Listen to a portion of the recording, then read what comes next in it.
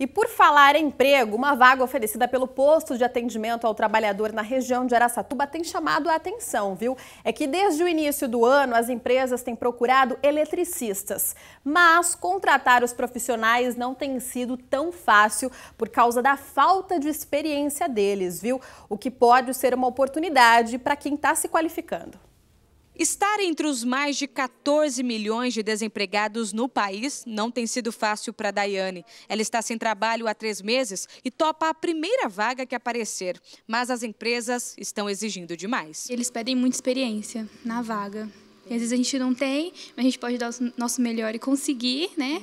Fazer ali o que eles precisam, mas eles querem experiência em carteira. Quem procura emprego já chega no posto de atendimento ao trabalhador de Araçatuba de olho nesse painel aí com as vagas disponíveis. Só que a oportunidade que tem aparecido com mais frequência desde o início do ano é a de eletricista. As empresas estão em busca de ajudante de eletricista também, mas preencher essas vagas não tem sido tão simples. Muitas vezes a empresa exige uma demanda que seria a qualificação técnica, e o trabalhador, grande parte das vezes, não tem essa qualificação técnica para estar podendo se candidatar à vaga. Se o problema na hora de contratar é encontrar mão de obra qualificada, então as chances de quem está se preparando aumentam bastante. Os alunos desse curso de eletricista de manutenção já aprenderam a lição mais importante. É preciso se dedicar muito para conseguir uma vaga no tão concorrido mercado de trabalho. Por isso a rotina deles é puxada, né, Vitor Hugo? Faço estágio na empresa,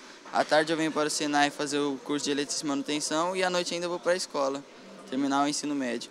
E aí, você acha que não para por aí, tem que estudar ainda mais? Sim, eu pretendo fazer o curso técnico e futuramente uma engenharia elétrica. E tem menina no curso de eletricista que também está de olho nas vagas que tem sobrado por falta de qualificação. Aumenta mais o currículo e você, você já vai estar no chão de fábrica trabalhando. Se hoje sem estudo está difícil, imagine sem ele. Quanto mais qualificação, melhor. Quanto melhor classificado você for, né, mais portas você vai abrir nas empresas.